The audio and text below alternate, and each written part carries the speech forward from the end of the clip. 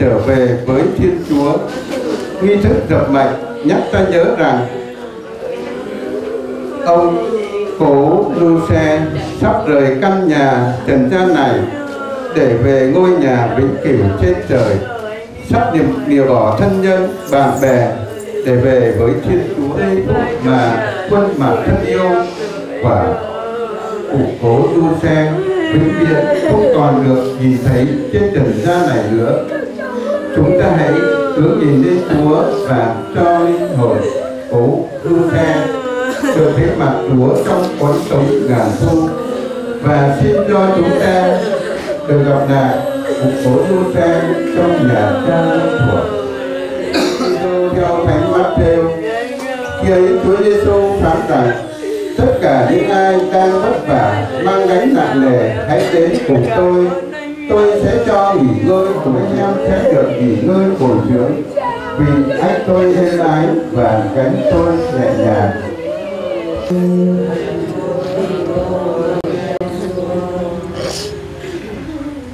Cộng đoàn thân mến, lòng chịu bao đau khổ của ta và tha thiết cầu xin. Xin hãy cùng chúng con, chúng con cảm thấy mình bất lực khi phải đương đầu với màu nhiệm sự thế. Xin Chúa đừng bỏ rơi chúng con. Lạy Chúa, xin ở lại cùng chúng con. Đừng trước cảnh chia đi tăng tâm chúng con lại xin Chúa yên ủi chúng con và chia sẻ với chúng con những giây phút bàng hoàng, đau thương và bối rối này. Lạy Chúa, xin ở lại cùng chúng con. Sẽ và hy vọng chắc chắn sẽ gặp lại nhau trong nhà cha muôn đời.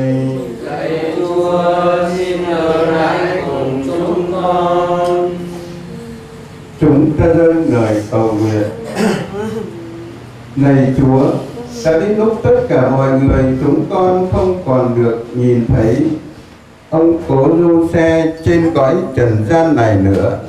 Xin cho chúng con giữ mãi hình ảnh thân thương chiều mến của cố du xe. Xin đừng để chúng con phải ngậm đắng nuốt cay trước sự chia ly đầy mất mát thương đau này nhưng xin cho chúng con tràn trề niềm hy vọng sẽ được vào nước trời là nơi Chúa quy tụ mọi người chúng con. Chúng con cầu xin nhờ Đức Kitô Chúa chúng con.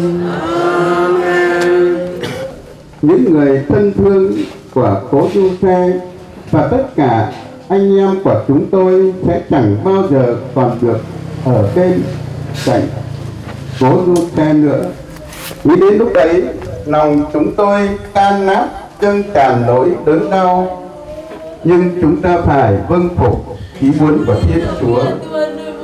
Lúc này đây, đang quây quần bên linh cứu của cụ cố tu trang có tất cả mọi người thân trong gia đình và tất cả chúng tôi, là mọi người hiện diện nơi đây. Chúng tôi xin từ biệt cố du xe lần cuối cố tu xe đã dành biết bao công sức đời mình để cày dựng một gia đình êm ấm, sống trang hòa yêu thương tất cả mọi người, nhất là những đóng góp cho công cuộc xây dựng xã hội giáo hội. Nhưng tưởng rằng cục cố đua xe còn đồng hành và góp sức cùng chúng tôi dài lâu hơn, ai ngờ ý chúa nhiệm màu. Cục cố đua xe đã ra đi trước. Trước linh cứu của cố đua xe, mọi người chúng tôi xin cùng đua xe nhận cho lòng thành và ngàn quân tình cảm gắn bó tiếc thương của chúng tôi. Ước mong trong tình nghĩa anh chị em con một cha trên trời, chúng ta thông cảm và bỏ qua tất cả những thiếu sót và chúng ta chưa thổ lộ cùng nhau được một khi an nghỉ trong chúa nơi cõi vĩnh hằng, xin cố xe đừng quên chúng tôi đang còn ở chốn đời tạm này. Phần chúng tôi chúng tôi mãi mãi nhớ đến cố Du xe trong kinh nguyện và trong các thánh lễ. Cố Du xe trong đau đớn và tiếc thương. Trong màn đêm hắt hiu thoáng nghe lời ru vẫn ngọt ngào nhẹ ru suốt bao đêm dài, cho con được yên giấc. Vẫn bên con đời vòng tay ấm êm, dáng hao gầy mẹ chịu bao nỗi đau. Áo rách vai, mong đời lấy chén cơm chén cơm đầy vì con thơ. Ôi, mẹ thương yêu.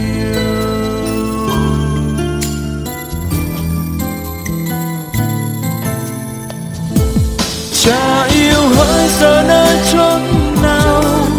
Để mẹ yêu lẻ loi suốt bao tháng ngày. Bao giông tố nhọc nhằn xót xa vây quanh mẹ yêu. Cha yêu hỡi giờ cha đã xa. Để con thơ bơ vơ khát khao mong chờ, con vẫn muốn được có cha.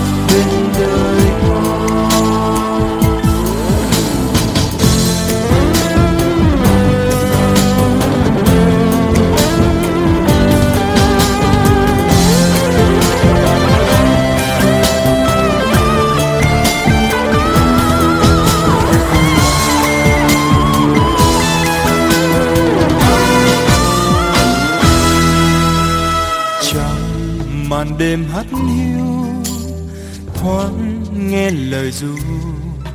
Vẫn ngọt ngào nhẹ ru, suốt bao đêm dài, cho con được yên giấc. Vẫn bên con đôi vòng tay ấm êm, dáng hào gầy mẹ chịu bao nỗi đau. Áo rách vai, mong đời lấy chén cơm chén cơm đầy vì con thơ thương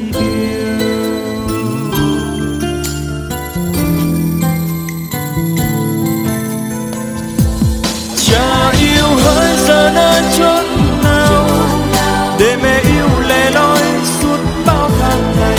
Bao giông tố nhọc nhằn xót xa vây quanh mẹ yêu. Cha yêu hỡi giờ cha đã xa để con thơ bơ vơ khát vẫn muốn được có cha bên đời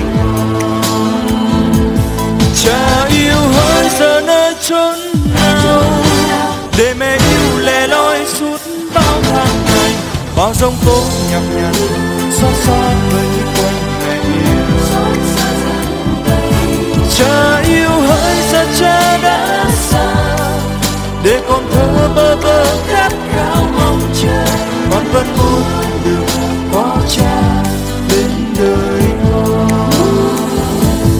Cha yêu hỡi giờ cha đã xa. Để con thơ bơ vơ khát khao mong cha, con vẫn muốn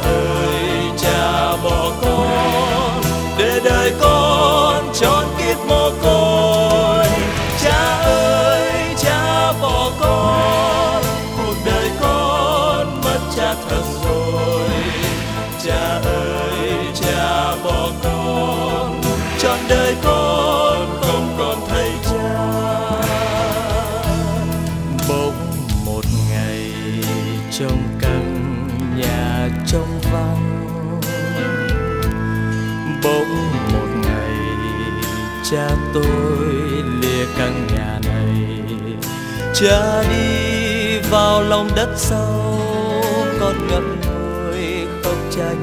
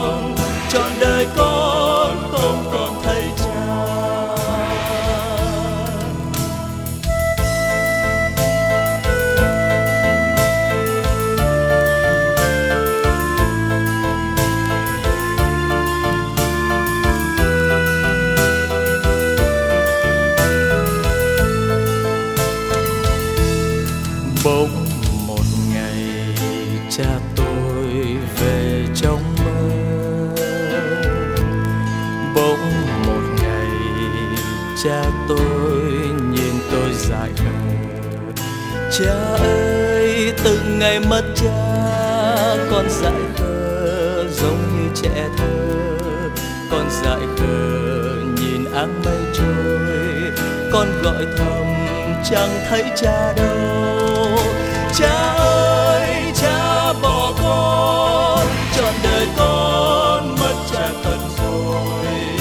Cha ơi, cha bỏ con, để đời con trọn kiếp.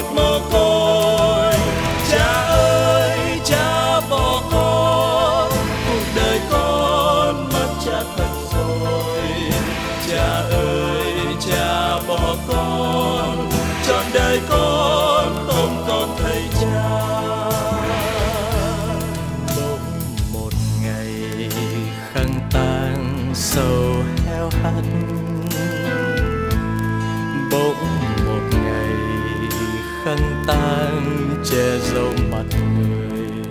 Cha ơi, giọt lệ ướt mi, con ngồi nhìn lá rơi mùa thu. Con chẳng còn những tiếng ru xưa, nay chỉ còn vành trắng khăn tang cha ơi, cha bỏ con, trọn đời con mất cha thật rồi. Cha ơi, cha bỏ con trọn kiếp mồ côi. Cha ơi, cha bỏ con, cuộc đời con mất cha thật rồi. Cha ơi, cha bỏ con, trọn đời con không còn thấy cha.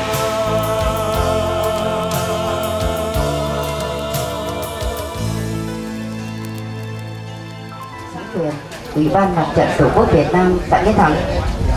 Thưa các ban ngành đoàn thể trong và ngoài xã Thưa các quý khách xa gần Thưa ban lễ tang và nhân dân xóm 10 Thưa toàn thể nhân dân Thưa gia đình Tam Quyến. Ông Nguyễn Văn Hóa không còn nữa. Thay mặt cho ban tổ chức lễ tang tôi xin gửi đến gia đình lời chia buồn sâu sắc nhất.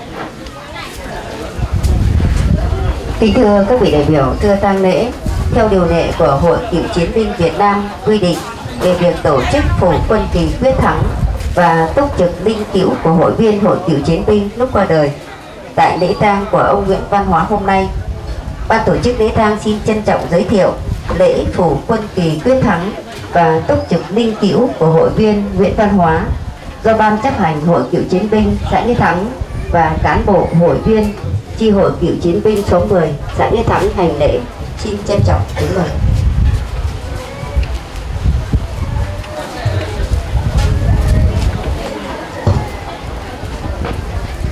Kính thưa các đồng chí đại biểu đại diện cho Ủy ban Nhân dân, Ủy ban Mặt trận Tổ quốc xã Nghĩa Thắng.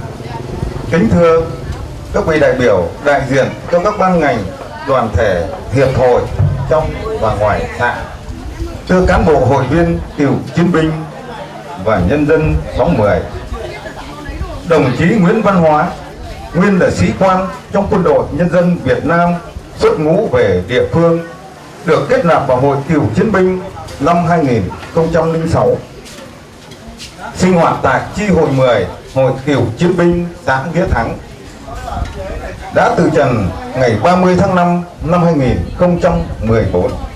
Từ lúc nhận được tin báo buồn, đồng chí Nguyễn Văn Hóa từ trần, cán bộ hội viên cựu chiến binh đã đến thăm hỏi, động viên, chia buồn và giúp đỡ gia đình đồng chí để lo tang lễ.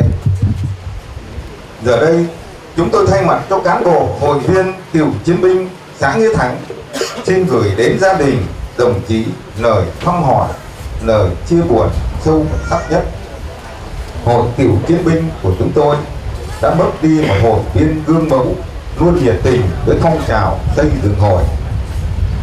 Kính thưa tăng đế, đồng chí Nguyễn Văn Hóa sinh năm 1948, nhập ngũ năm 1969 sau đó đồng chí trở về địa phương rồi lại tiếp tục tái ngũ. Đã từng công tác và chiến đấu tại mặt trận B3 chiến trường Tây Nguyên và mặt trận biên giới ở phía Bắc ở bất cứ nhiệm vụ nào, đồng chí cũng hoàn thành xuất sắc nhiệm vụ. Đồng chí được quân đội, phong quân hàm thiếu úy, được tặng thưởng huân chương chiến sĩ giải phóng, huân chương chiến sĩ vẻ vang và nhiều phần thưởng danh hiệu vinh dự khác. Kính thưa tăng lễ, theo điều lệ hội cựu chiến binh và quy định của trung ương hội, lễ truy điệu đồng chí nguyễn văn hóa được phủ quân kỳ quyết thắng trên linh cứu và đội danh dự cựu chiến binh túc trực bên đồng chí trước giờ tiến biệt. Tiếp theo là lễ phủ quân kỳ. Đội danh dự của cựu chiến binh chú ý. Yeah! chuẩn bị, quân kỳ!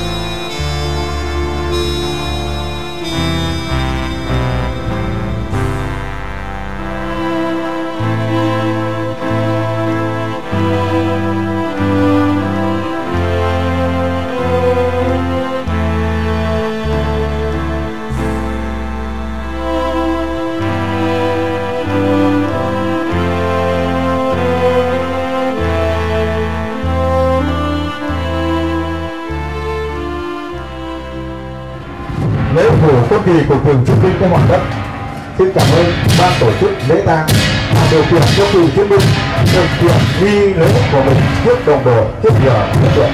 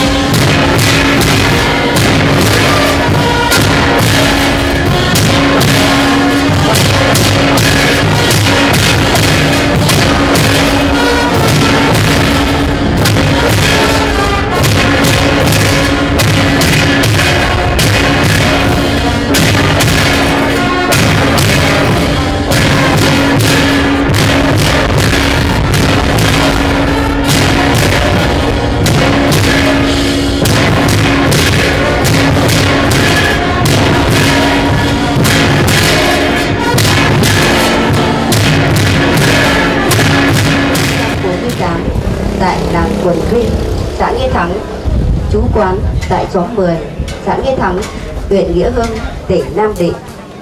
Qua một thời gian, ông bị lâm bệnh nặng.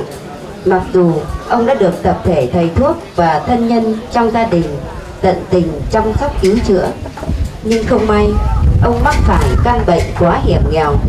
Ông đã vĩnh biệt tất cả chúng ta, vĩnh biệt những người thân yêu nhất hồi 19 giờ ngày 30 tháng 5 năm 2014, tức là ngày mùng 2 tháng 5 năm Giáp Ngọ. Ông hưởng thọ 67 tuổi.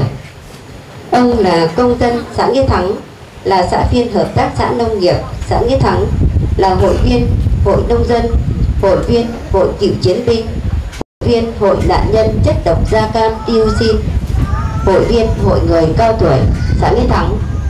Trước lúc đi vào tổ chức lễ tang, tôi đề nghị ban nhạc tang mở nhạc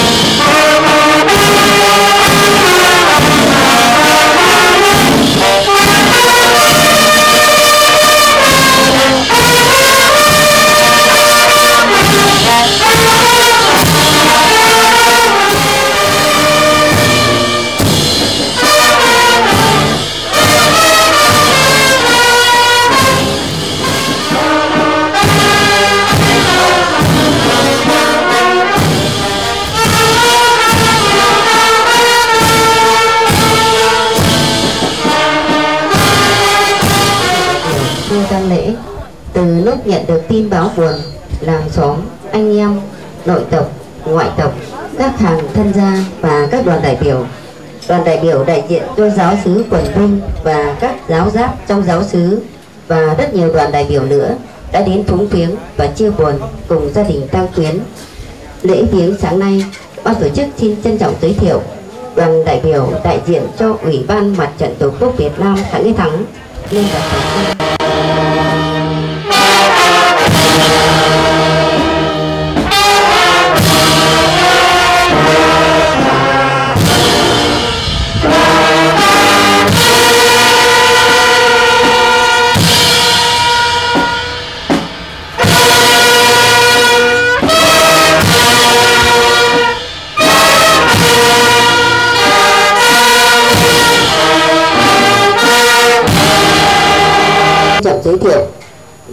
biểu đại diện cho cán bộ hội viên hội người cao tuổi xã Nghĩa Thắng và chi hội người cao tuổi số 10 xã Nghĩa Thắng nên đặt cờ hội, bức chướng, lễ vật và thắp trầm kính viếng.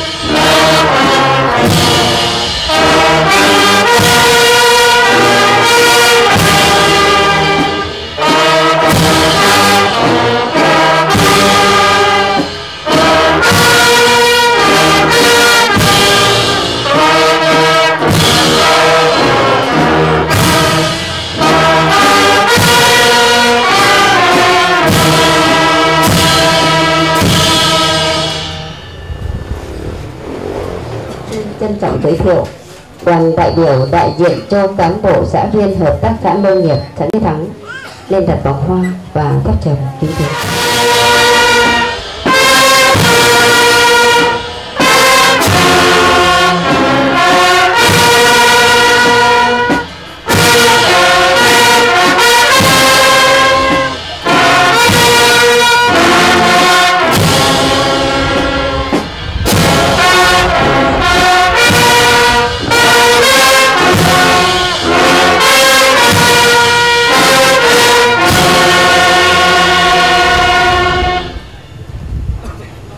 Tiếp theo chương trình lễ viếng, ban tổ chức xin trân trọng giới thiệu đoàn đại biểu đại diện cho cán bộ hội viên hội Kiểm chiến binh xã Yên Thắng lên đặt vòng hoa và thắp trầm kính thỉnh.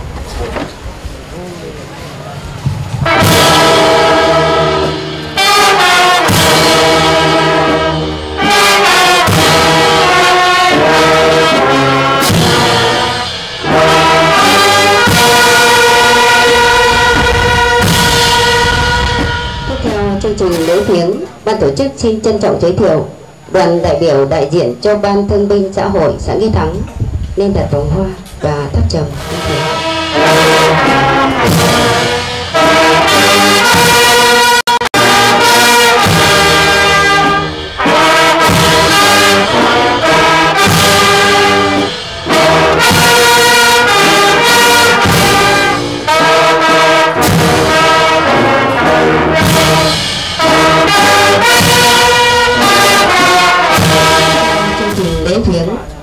Xin trân trọng giới thiệu. Đoàn đại biểu đại diện cho hội nạn nhân chất độc da cam dioxin xã Nghĩa Thắng lên đặt hoa và thắp trầm. Kính viếng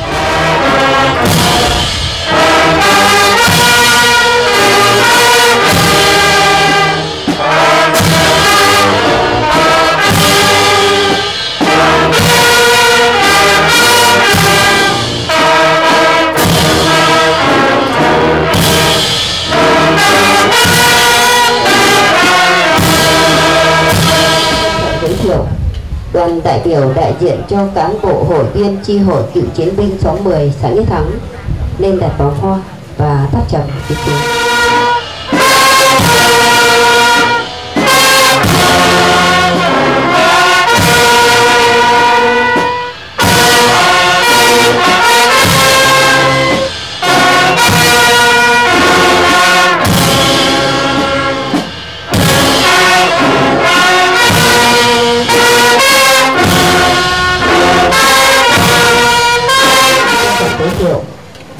biểu đại diện cho cán bộ và nhân dân xóm 10 xã Nghĩa Thắng, chi hội nông dân xóm 10 chi hội phụ nữ xóm 10 chi hội chữ thập đỏ xóm 10 và chi hội khuyến học xóm 10 xã Nghĩa Thắng lên đặt vòng hoa, lễ vật và thắp trầm kính tiếng.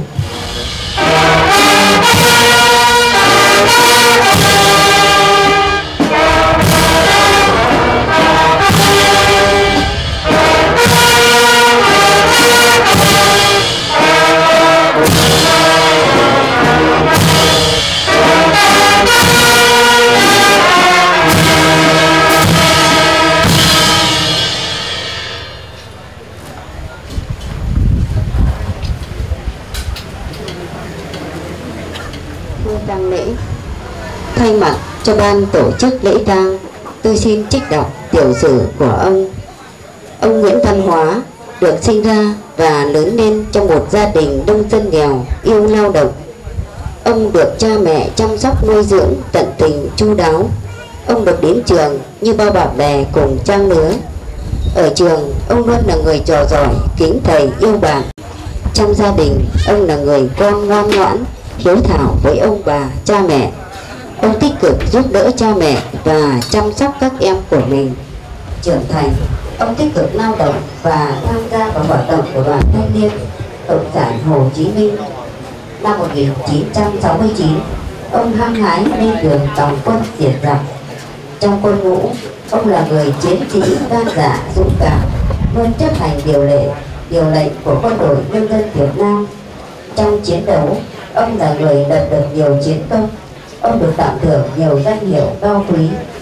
Năm 1976 ông được xuất ngũ trở về địa phương xây dựng gia đình. Nhưng rồi với bản chất của anh bộ đội cụ Hồ, năm 1979 ông lại tạm biệt gia đình, tạm biệt quê hương, tiếp tục tái ngũ, trở về chiến đấu tại biên giới phía Bắc. Ông tiếp tục đóng góp công sức của mình, giữ gìn từng đất đất thiêng liêng của tổ quốc năm 1982 ông hoàn thành xuất sắc nhiệm vụ trở về địa phương. Về với gia đình, với quê hương, con người nghĩa thắng, nơi có rất nhiều những người thân thương đang đón đợi ông. Ông sinh được 5 người con, trong đó có hai người con trai và ba người con gái. Con trai của ông, anh Nguyễn Văn Hà, trưởng thành xây dựng gia đình, hiện nay cư trú tại xóm 10 xã Như Thắng. Anh Nguyễn Văn Hồi đang công tác tại Hà Nội các con gái của ông, chị Nguyễn Thị Ngân, trưởng thành, xây dựng gia đình tại xóm 10 xã Nghĩa Thắng. Chị Nguyễn Thị Dư đang là tu sĩ. Chị Nguyễn Thị Mây trưởng thành, xây dựng gia đình tại thị trấn Rạng Đông. Các con trai, con gái, con dâu, con rể của ông đều là những công dân tích cực, chấp hành tốt mọi chủ trương đường lối của đảng, hiến pháp và pháp luật của nhà nước anh chị em trong gia đình thương yêu, đoàn kết, hiếu kính mẹ cha, chăm sóc, phụng dưỡng mẹ cha tận tình, chu đáo để báo đền công sinh thành dưỡng dục của mẹ, của cha. Khi ông lâm bệnh nặng, vợ và các con ông chẳng quản ngại khó khăn vất vả, chạy chữa thuốc thang những mong ông mau lành bệnh. Thế nhưng hậu quả của chiến tranh thật quá nặng nề. Vì những nơi ông đã từng chiến đấu là những nơi mà kẻ thù thâm độc tàn ác đã rải chất độc da cam dioxin ông bị nhiễm chất độc rất nặng. Dù với đời thường, ông không được khỏe khoắn nóng, những cơn đau ốm vẫn luôn hoành hành hạ ông suốt bao nhiêu năm qua. Và khi sức đã tàn lực đã kiệt thì ông không còn chịu đựng được nữa. Căn bệnh hiểm nghèo đã cướp mất của gia đình, người chồng, người cha, người ông vô cùng đáng kính nàng lỡ giờ bao nhiêu kế hoạch của gia đình, tất tất cả đều dở dang dang dở. Ông ra đi khi trách nhiệm làm chồng, trách nhiệm làm cha, trách nhiệm làm ông của ông còn dang dở. Ông ra đi để lại cho gia đình họ hàng làng xóm, nỗi buồn thương khôn tả và nỗi nhớ khôn nguôi. Tất cả chúng ta hôm nay về dự lễ tang của ông để bồi hồi, thương tiếc, cảm thông, chia sẻ với nỗi mất mát đau thương của gia đình. Để tỏ lòng tiếc thương và vĩnh biệt ông lần cuối tôi đề nghị tang lễ chúng ta đến dậy dành phút mặc niệm. Phút mặc niệm bắt đầu.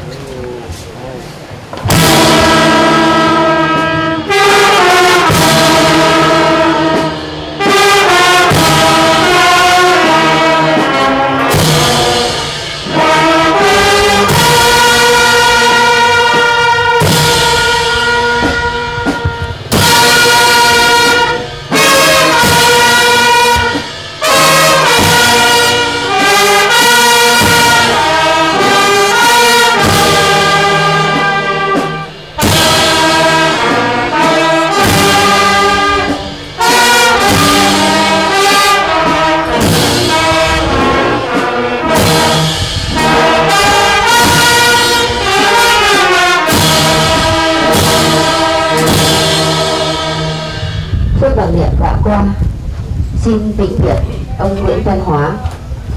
Kính thưa các vị đại biểu, thưa ban lễ, thay mặt cho ban tổ chức lễ tang và gia đình tang quyến, tôi xin chân thành cảm ơn các vị đại biểu, đại diện cho ban lãnh đạo đảng, chính quyền, ủy ban mặt trận tổ quốc Việt Nam, xã Nghĩa Thắng.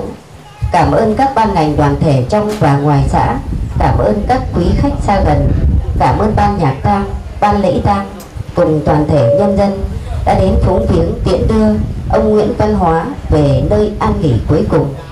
Trong lúc tang gia bối rối và khi tổ chức lễ tang có điều gì khiếm khuyết, xin các vị lượng thứ. Tiếp theo là lễ an táng đưa thi hài của ông về nơi an nghỉ cuối cùng. Thứ tự đội hình hành tang như sau. Đi trước là cờ và bước chướng, sau cờ là trống kèn, sau cháu kèn là linh cữu, sau linh cữu là con cháu, người thân và khách đưa tang. Phần điều hành tiếp theo, ban tổ chức giao lại cho cán bộ và nhân dân xóm 10 xã Nghĩa Thắng. Nghi lễ an táng được cử hành tại nghĩa trang nhân dân xã Nghĩa Thắng. Lễ an táng bắt đầu cử hành.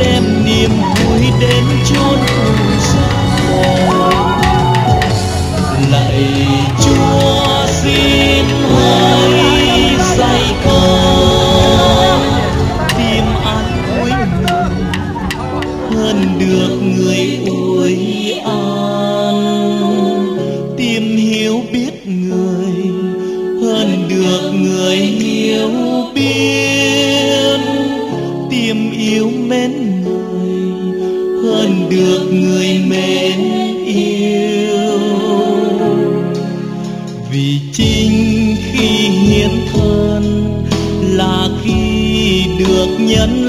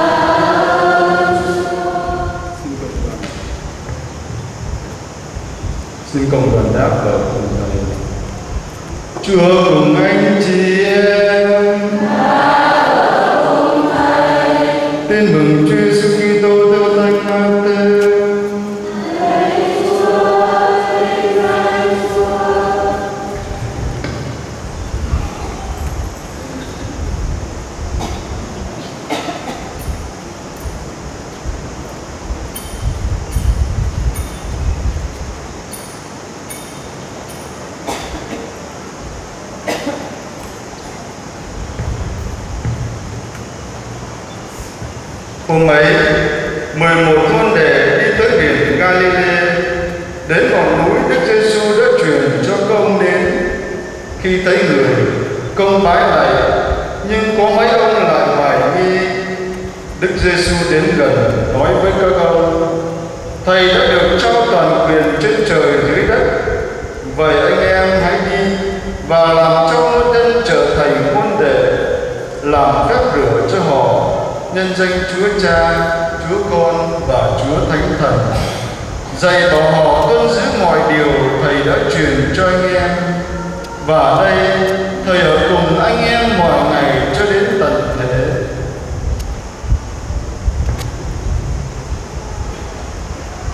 Đó là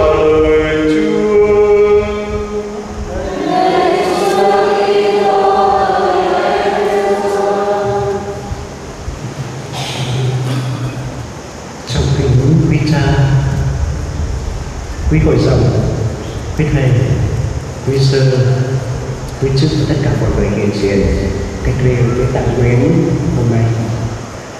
Chúng ta biết rằng Chúa Giêsu về trời mở ra một cái viễn tưởng tương lai tốt đẹp. Đó là cái hạnh phúc thiên đàng. Người đi trước, mở đường và dẫn chúng ta lên theo người. Và hy vọng lớn lao và hạnh phúc cho ông bố dù xe Chúa Giêsu hôm nay dẫn ông bố về trời, hưởng phúc thiên đàng với Chúa. Vậy Chúa Giêsu lên trời là chốn linh thiêng màu nhiệm lạ lùng. Con người luôn luôn khao khát được lên trời. Đi dưới đất, bơi trên sông, con người thấy mình thấp hèn quá. Và làm sao lên được trời cao đây? Con người mới thỏa mãn được những ước mơ và lý tưởng của mình loài người đã hồi hộp theo dõi các cuộc bay lên trời của mấy người phi hành gia vân vân và mơ ước có ngày cũng được lên trời nhưng rốt cuộc chuyến bay nào cũng phải trở về trái đất. Họ tiếp sống trần dần dần than mới mang sức mạnh thần cho con người lên trở về qua vô độ Vậy Chúa Giêsu về trời không nghĩa là Chúa người bỏ trần thế nhưng là thay đổi cái cách thức hiện diện. Từ nay, ngài không còn hiện diện một cách cố định nhưng mà hiện diện cách vô hình với con người thân xác của bố du xe cũng vậy, mà cách động cho con đời này rời bỏ trần thế rời bỏ mái nhà thân thương, rời bỏ sống làng giáo xứ vĩnh viễn những người thân thương. Người bạn đời các con các cháu các chắc anh em họ hàng và tất cả. Nhưng trong tình yêu và quyền năng của Thiên Chúa của Chúa Giêsu Kitô phục sinh thì linh hồn ông cố đang hiện diện với chúng ta trong thánh lễ này. Hiện diện một cách vô hình hiệp thông với giáo hội trong một điện giác thánh của một nơi chốn khác một nơi chốn vô hình. Vậy thì ngoài cuộc sống này, còn có một cuộc sống nữa. Ngoài những giá trị đời này, còn những giá trị cao hơn. Trời là nơi hạnh phúc, không còn khổ đau. Trời là nơi cuộc sống vĩnh cửu, vĩnh viễn, không bị tiêu diệt. Trời là nơi tất cả giá trị đạt đến mức tuyệt đối. Và trời là nơi mà con người trở thành thần thánh sống chung với thần thánh trên thiên đàng như thế chờ hy vọng con người vậy nên đang ở giữa ở thế gian này luôn ước vọng về Chúa Giêsu đã về trời. Như vậy chúng ta luôn dõi mắt như ông bố cũng đã từng dõi mắt trong phần này. Vậy con người không còn bị trói chặt vào trần gian định mệnh của con người không phải chỉ là đang đứng, vậy trời đất cao thì mình con người. Vậy có trời con người không còn bị xếp ngang hàng với xúc vật xúc vật sinh ra con thiên chúa như thế. Hạnh phúc lớn lao vậy có trời con người sẽ được nâng cao. Ôm với hàng thần thánh Giêsu Kitô và hy vọng ngôi mộ được Chúa nâng lên ngang hàng các bậc đại thánh trên trời nhờ công việc sự chết của sinh của ngài. Tuy nhiên trời không phải là xây dựng trên mây hay trên gió mà được xây dựng trong cuộc sống trải ra để đạt tới hạnh phúc đơn giản chính Chúa Giêsu dù đó là đi đâu giảng đi mừng khắp nơi đi đến đâu là đi lên sáng phút đến đây. Đi đến đâu là gieo yêu thương đến đó. Ông bố chủ xe của chúng ta được làm con chúa được trao và trao ban nhiệm vụ và chúa gọi nhiệm vụ nuôi lòng chúa rồi lao động hàng ngày vượt qua những sóng gió ở đời vượt qua những cám dỗ khấu khổ vượt qua những cái nỗi sợ hãi lạnh lùng tâm tối thế gian. Để, để tiến tới hội thánh của thiên quốc vậy thì ông cố vui mừng dâng hiến ngay cả việc góp phần với xã hội dâng hiến cho Chúa người con yêu thương của Chúa. Vậy cả cuộc đời của ông cố đã đặt niềm tin vào Đức Giêsu, đã gắn bó với Chúa, với giáo họ, giáo xứ, chia sẻ niềm tin sống động trong lòng giáo hội với bà con hàng xóm thân thương và phục vụ giáo hội với tất cả tấm lòng của người con Chúa, một người Kitô hữu.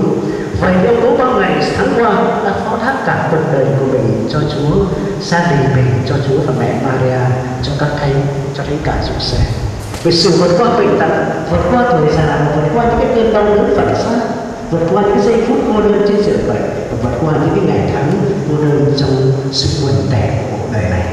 Vượt qua cái sự u sầu đớn đau trong phần cây dầu với Chúa níu giữ cái cơ thể và cô đơn trên cái giá của Chúa Giêsu lên người hy vọng được cầu xin cứu ngài ở lên trời với Chúa như vậy. Tuy nhiên trong đất phận hình thế, bao tâm tình sao xuyến của chúng ta được trở nên lần cầu nguyện thiết tha dâng lên Chúa.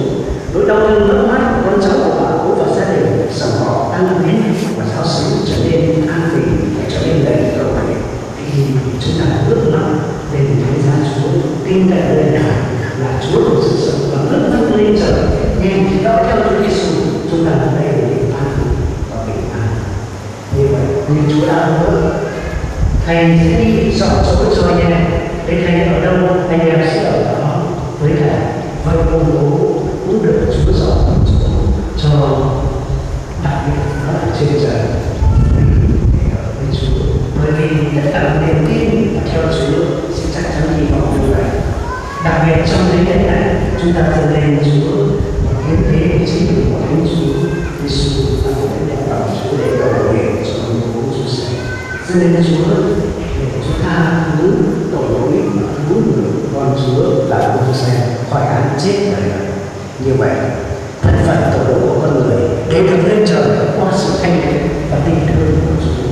Trong hy vọng ý can lên lên là bàn thờ của cộng đoàn chúng ta, sự thanh lễ này thì cầu nguyện cho linh hồn của bố Chúa xe và bố Chúa sẽ theo chúng ta đây, được dự bàn tiệc nước trời, đó là hạnh phúc thiên đàng nơi Chúa Giêsu đã về trời hôm nay, cũng như là hôm xưa. Và luôn luôn hiện diện một cách hữu hình ở một cách vô hình. Và như vậy, ông cố cũng luôn luôn sống động trong lòng chúng ta để rồi chúng ta luôn luôn nên nghe ông cố với đức trời đổ cầu nguyện chúng ta sống. Cái bộ phận của người kia đứng trong cái bậc sống ơn gọi của mình. Thực sự chúng ta góp phần vào đức trời vinh quang để chúng ta gặp gỡ nhau với chính đức trời tất cả trong niềm vui lớn lao của Chúa Giêsu đến trời hôm nay kéo chúng ta đến và tiếp tục kéo chúng ta đến nữa và hôm nay theo ông sự sống Đức Chúa Giêsu Kitô đấng đã chết và sống lại là niềm hy vọng của chúng ta. Ông vua Giuse suốt cuộc đời được tin yêu sự Chúa. Chúng ta cùng cầu xin Chúa thương ban cho ông vua Giuse nước trời. sẽ không phải chết đời đời. Chúng ta cùng cầu xin cho ông du xe khi còn sống đã hết lòng tin yêu. Giờ đây được tha thứ mọi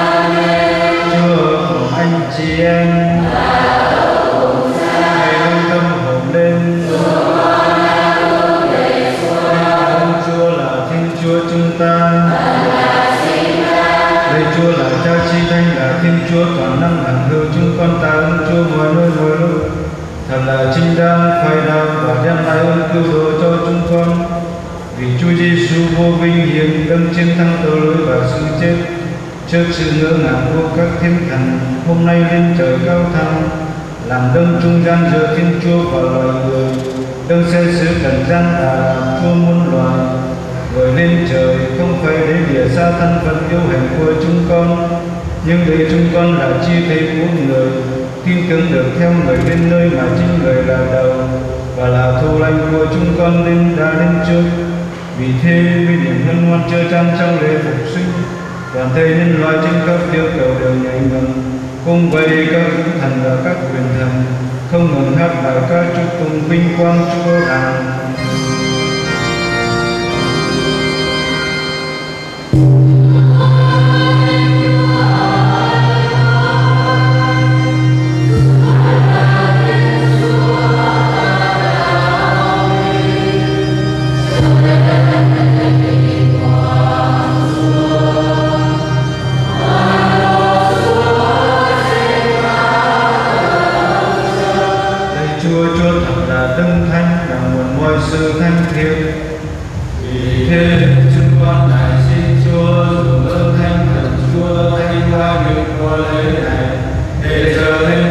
chúng con, nguyện và mau đức Giêsu Kitô, Chúa chúng con, khi được nguyện nộp mình chiêu khổ hình người cầm lấy canh tha ơn bè ra và trao cho các môn đệ mà nói tất cả các con hãy nhận lấy mà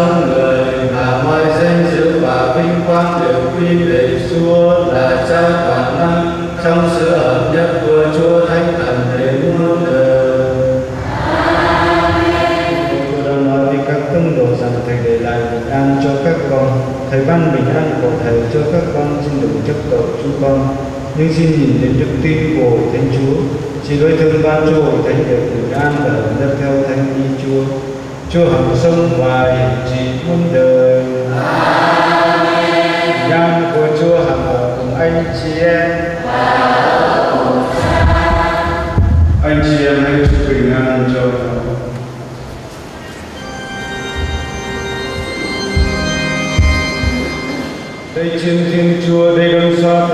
gian phúc cho ai được mời đến chư tiệc chiên thiên chúa.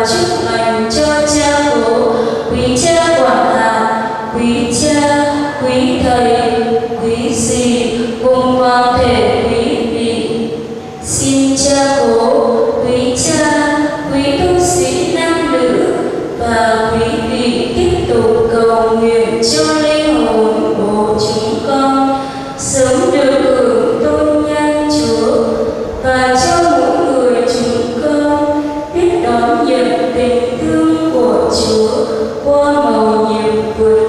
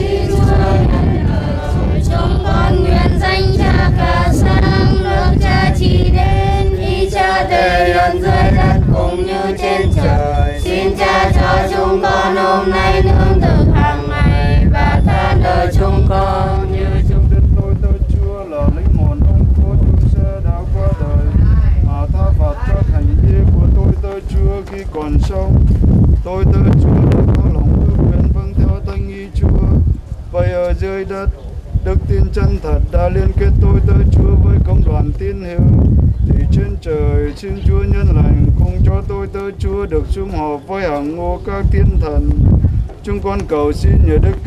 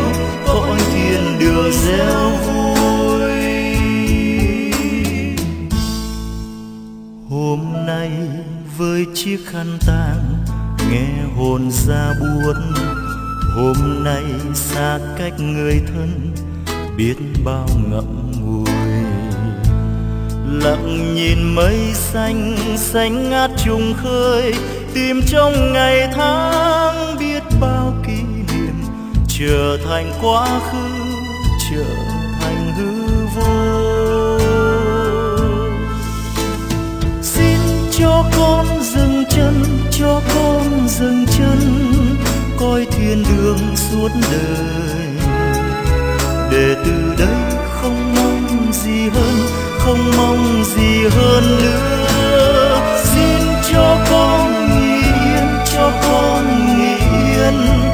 mang năm dài ngóng chờ. Ngày phục sinh hoan ca tình yêu cõi thiên đường.